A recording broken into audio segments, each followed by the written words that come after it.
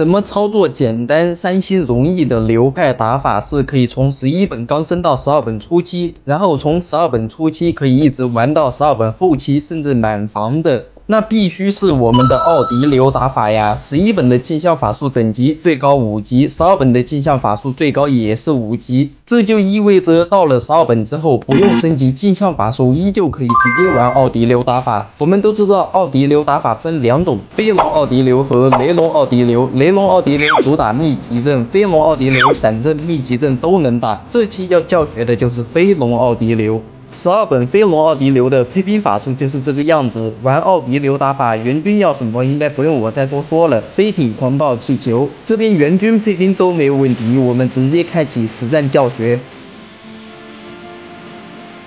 这边也是搜索到了对手，观察一下阵型，想一下思路。鸟炮在大本的旁边，那我们大部队就可以不用往鸟炮那边冲了。我们飞龙奥迪流，飞龙大部队还是比较害怕单头的，所以我们大部队优先冲单头。这个阵型就左边区域的地狱塔是单头，那我们飞龙大部队就要从左边一字化，找到了大部队一字化的地方，我们就直接开始操作。在大部队飞龙一字化之前，我们先把边断好，右边这边给个超载开墙，然后下双王把右边这边的边给它断了，然后左边一条雷龙断边。双王这边是超大开了城墙的，双王待会还可以进去处理多头。两边的边端的差不多了，左边就直接飞龙一字化，然后永王跟上，然后下气球，然后下飞艇，等大部队往里面推进，狂暴一给，金身一开。现在视角就一直盯着飞艇，等飞艇到大本旁边，被吹风机吹了一下，问题不大。飞艇要到大本期间把三瓶镜像法术铺好，然后狂暴给上，飞艇气球出来，镜像法术直接复制，直接输出爆炸，然后手上也没有其他法术了，就等场上的飞龙。大部队和镜像法术复制出来的气球慢慢清理建筑，坐等三星。给大家说一下玩这个飞龙奥迪流要注意的一些事项。像飞龙奥迪流，它是可以打闪阵，但是那种特别闪的，而且还是三单头的阵型就不要去打了。除非对面的三个单头都是在大本的附近或者大本的旁边。单头地狱塔对于我们飞龙大部队来说威胁还是特别大的。基本上镜像法术一铺，狂暴一给，然后气球复制出来，基本上没什么事干了，就是等大部队自你慢慢收尾，防御建筑，